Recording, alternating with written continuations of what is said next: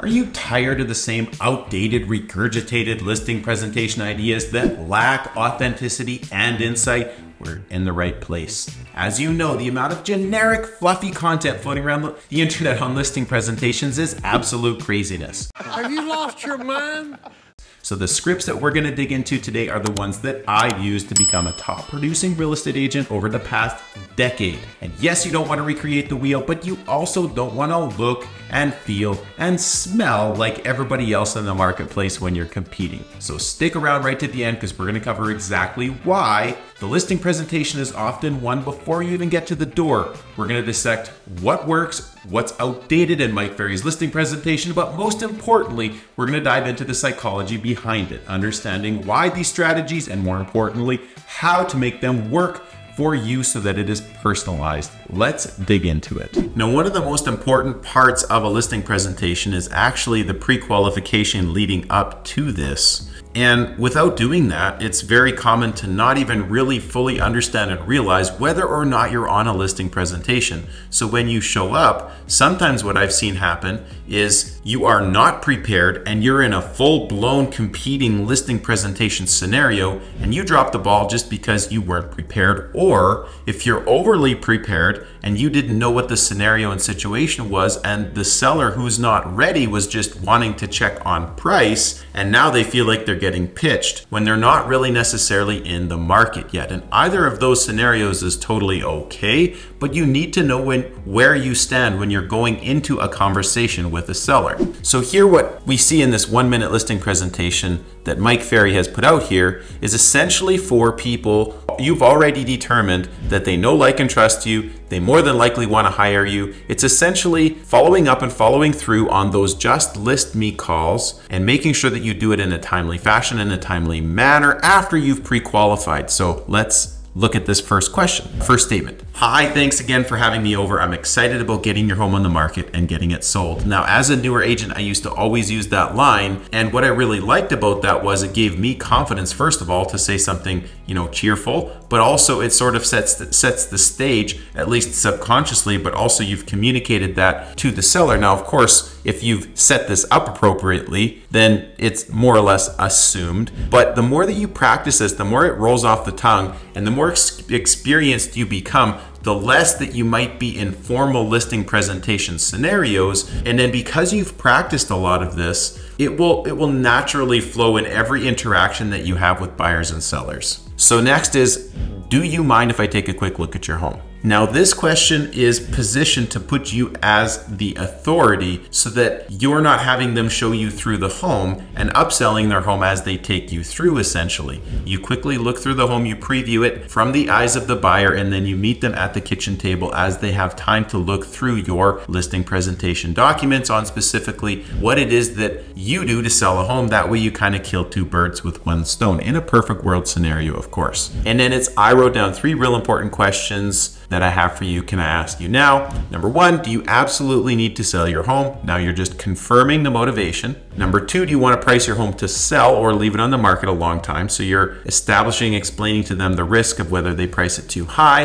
And then number three, do you want me to handle the sale for you? And the reason why it's laid out in three questions so simply, quickly, and easily like this is because if everything else is already set up, do you really need it to be any more complicated than this? The answer, of course, is no. So the rest of this is more or less a guideline. And so it even states in here, these people, they know you, they want to hire you, and they will list at your price. So this is your come list me call. Now, the next part of what you see here in the script is designed specifically for more of a typical listing presentation. So number four here says, Bob, at the end of my presentation tonight, one of three things will happen. Number one, you might decide to hire me. Number two, you might decide not to hire me. And number three, I might decide not to take your listing. And just so that you know, any one of those three is totally fine, is totally okay. Now you can put that in your own words. You could say, hey, you know, we might work together, we might not work together, and totally okay either way. I just want to make sure that you have all the information details that you need. I want to be here to help you no matter what happens. What's most important is what's best for your family, etc. So you can kind of work on that as you, you know, hone your skills and your craft over time to make it your own. But number five, let's quickly take a moment to review the questions I asked you over the phone. You said you were moving to Albuquerque, right? And you said you were moving because of a job transfer. So again, you're reiterating that motivation and you're also emphasizing the fact that you've taken the time, care, and attention to understand what their situation is before you even dig into the details because what's in it for them, what's important to them. You said you had to be there by within the next couple months, right? And that's an opportunity, by the way, for you to dig into how long it might take to sell a house because people sometimes delay getting on that appointment or having that conversation with an agent thinking, well, I'm not ready to sell my house yet. But when they actually look at the calendar, even if things sell and go quickly and smoothly, perfectly within the first week on the market, it could take 60 days for them to actually have possession take place on their house after two weeks for contingency, a week and a half, or a month and a half for uh, possession thereafter. Do you want to price? You wanted to price your home at X, Y, Z because maybe you you talked a little bit about that. You they came out and told you that when you did the pre-qualification and try not to let it go too much into a rabbit hole because you, you do have a little bit more that you want to cover. But you also want this to be conversational. I think one of the biggest problems with scripts is the fact that if you don't know the scripts very well, then what ends up happening is that you're so worried about what to say next that you you don't let the improv part of the conversation take place and or it could go the other way where you're just like i'm really good with people and you know i'm a naturally good salesperson you're extroverted let's say and you're comfortable with people but if you don't have a guideline and a script of what to say when to say how to say where to say what's next, then what easily happens is that the conversation gets derailed and you don't get to the conclusion or the solution that you want. And an hour goes by. And I've even heard scenarios where three hours go by and they end up having to leave. They don't get the listing. And it's like, so now every time I know I have this agent over at my house, it's I don't have time for that. So the key is to make sure it's structured and to get through all of what you need to in the time that you need to. But there's going to be a conversation taking place between and through all of this. So when you talk about the price, the,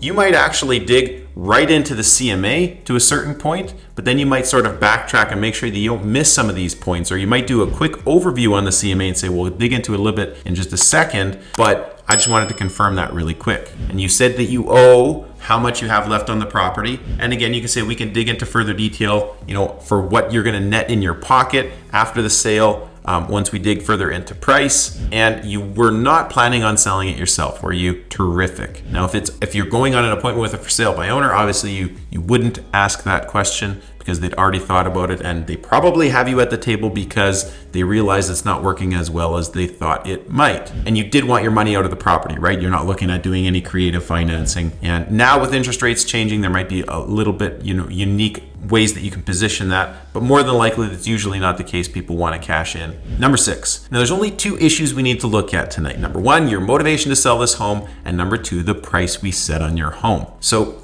I always say this the higher the motivation, the lower the price. The the lower the motivation, the higher the price. So you just and you and again, you could say this in your own words and just say, okay, so you guys did mention you absolutely want to sell, and I know that price is one of the biggest factors. I always like to price homes at a place where we feel confident we're not leaving money on the table, um, but we can dig further into the highest price that we could possibly justifiably charge making sure it's still within the market and will get you what you want in the time you want that will get you to the location you said you were going to move to Albuquerque, make sure that we make that happen on time. Because, of course, as you know, there's risks to pricing it too high. We don't want to chase the market, especially with, with what's ha- happening in the market right now. Seven, I've prepared what we call a comparative market analysis. Now, there's two parts to this research. Part one, we call fantasy land, what homeowners list their homes for. And part two, we call reality, what real estate agents list and sell homes for. So, we're going to have to decide tonight where are you're going to spend your time. Now, again, you could say that in your own words. You could say something along the lines of, like, you know, hey, I realize that you're probably up to speed with what's happening on the market in terms of what you, as the general public, can see when you're out shopping for houses online. And again, especially if it's a for sale by owner, they're going to say, Yeah, we saw what all the other houses were listed for, and we decided to go higher because ours is nicer, right? But the fact is, what real estate agents list and sell homes for. And I take it one step further and I will also say that even these comparables, even the market statistics are yesterday's news. This is what happened yesterday, two weeks ago, three weeks ago, six weeks ago. We can also make adjustments from that point till today. And that's the reason why I went out and previewed all of the competing listings before I even came on this appointment. So that when we're talking about 123 Main Street, I've actually been in there and I've seen the reason why maybe it's been on the market for a long time. Your house doesn't have that issue. So maybe it's not overly a concern, but we can use all of this as benchmark. And then we're supposed to read between the lines. And that's why you've hired a professional like myself who can see what you don't see on paper, who also has the experience and the wherewithal to be able to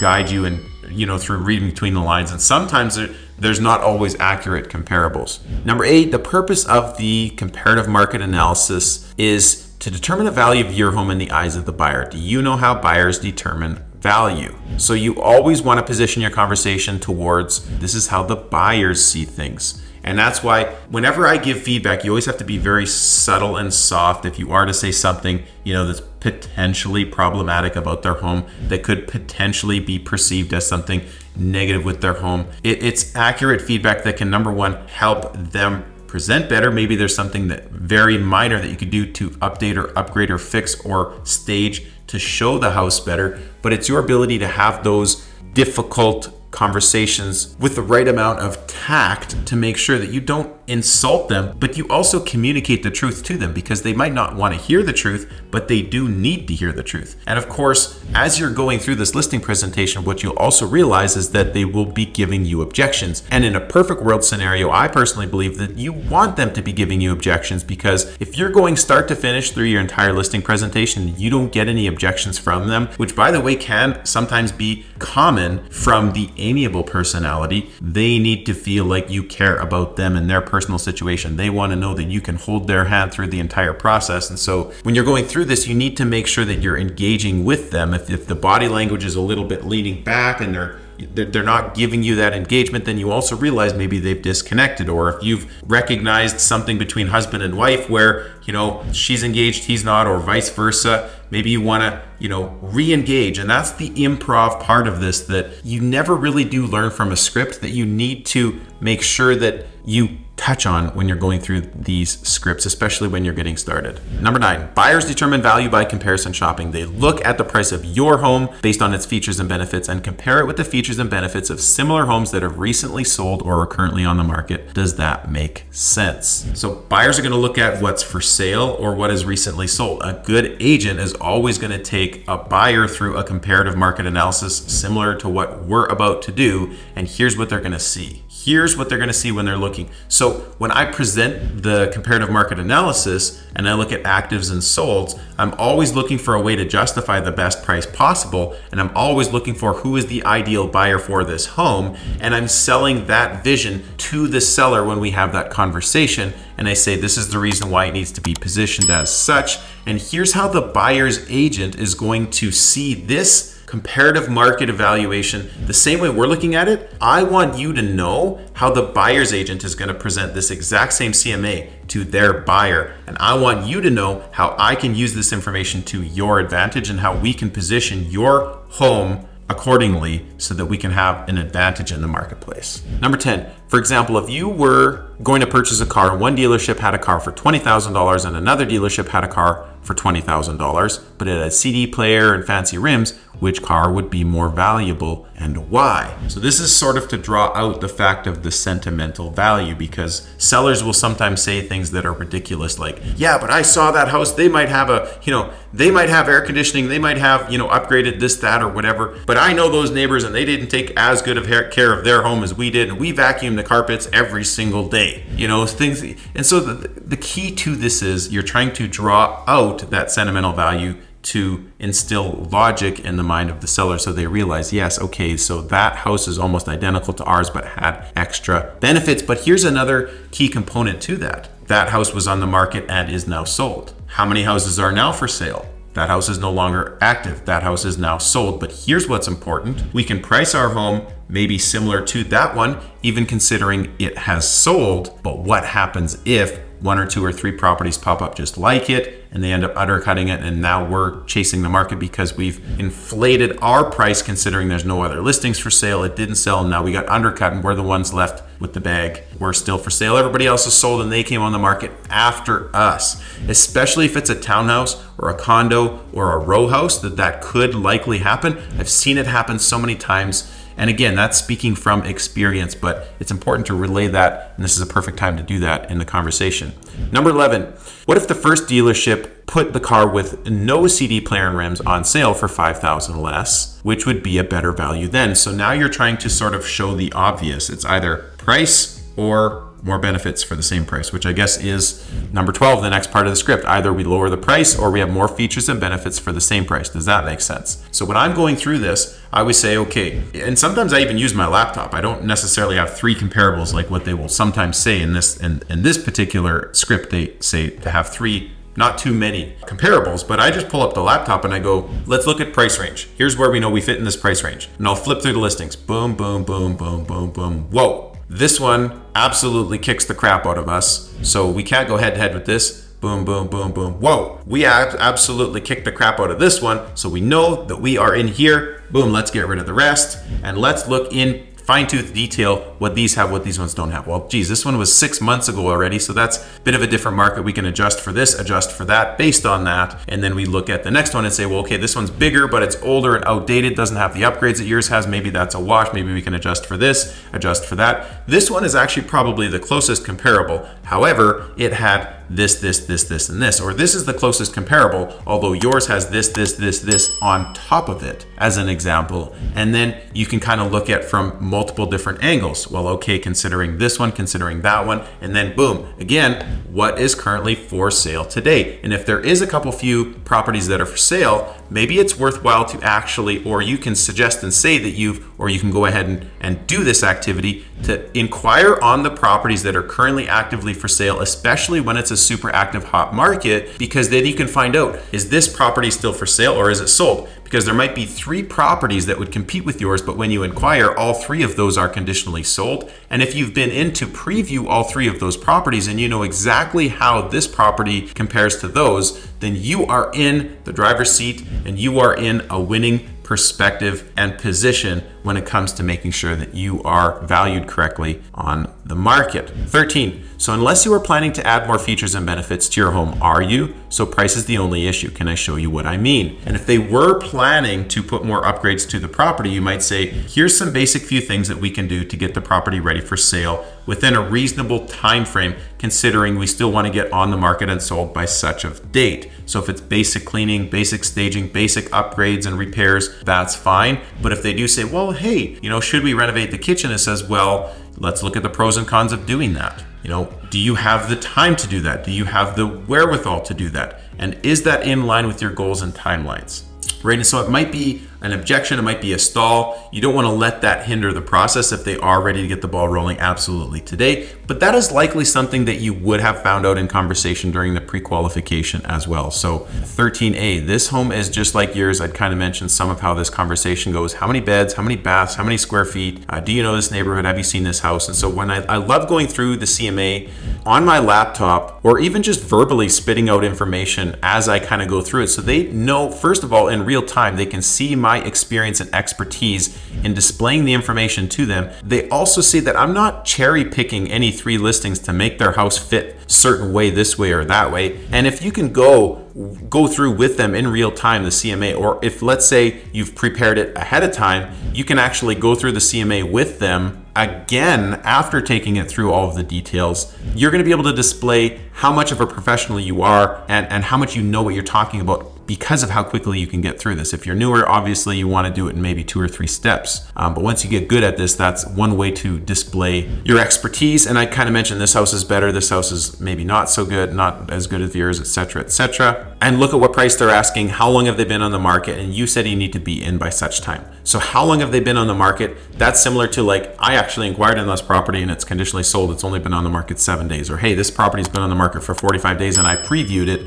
and I know why it's been on the market and hasn't sold. But if it's a more of a buyer's market, then you say, hey, look at this one's been on the market for so long. Obviously, people aren't buying it at that price. So if we want, if we're similar to that house and we actually want to sell, would you agree that maybe we should suggest something more competitive where you end up being that listing that comes in afterwards and gets sold quicker, as per that conversation that I just said before? Which one of those two sellers would you rather be, considering what your goals are? 14, what price do you feel that we should use to create value in the eyes of the buyer to get someone to decide to buy your property versus the competition? They might say, Well, what do you think, Chris? And I say, Well, I have a gut feel in mind, um, but I want to see where you sit first, and I'll be able to tell you if that's justifiable or what could potentially be a like, likely result based on my experience and based on my opinion and then work it from there. And then I always tell people that, like, as I'd mentioned, I want to list it so that you feel confident that you're not leaving money on the table, but I also want to put you in line to